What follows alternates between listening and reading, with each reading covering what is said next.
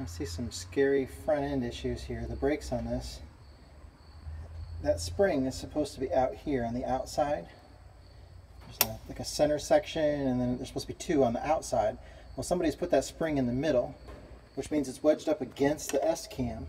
And as the S-cam was rotating to get, to expand, to put pressure on the brakes, it was pushing that spring up against the hub, therefore not letting the S-cam do its job. It was wedged in between there.